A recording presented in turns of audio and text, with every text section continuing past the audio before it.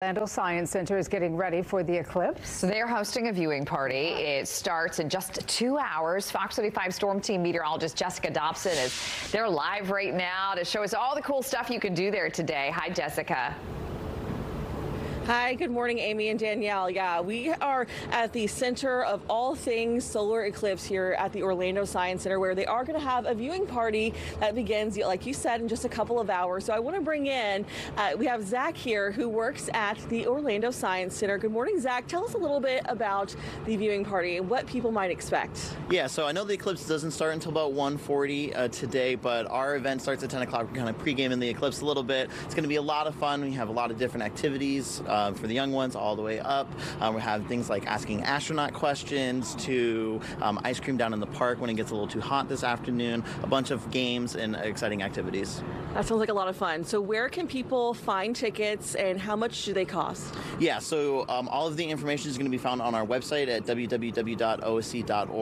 Um, there's going to be a solar viewing watch party um, for all of that information for how to watch at home safely or how to join the activities here at the Science Center.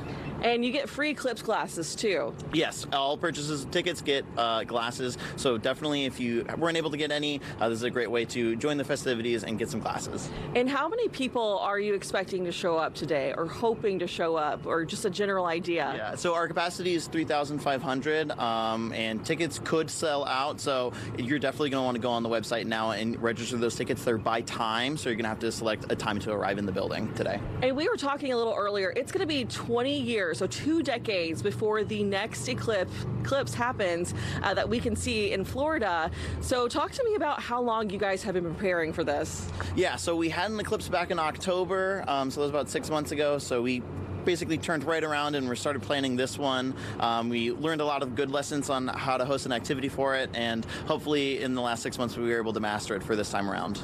It's going to be so much fun. I mean, a party on a Monday. I think we all need a party every Monday, right? Just to do with sure. them. But yeah. we're going to have lots more information about what you can expect here at the Orlando Science Center. And we're also going to talk more on some myths that you might have about the eclipse. We've talked about, uh, we were talking a little earlier, do not wear your uh, eclipse glasses while you're driving during the eclipse. So we'll talk more on why in just a little bit, but you'll have to stay tuned for that.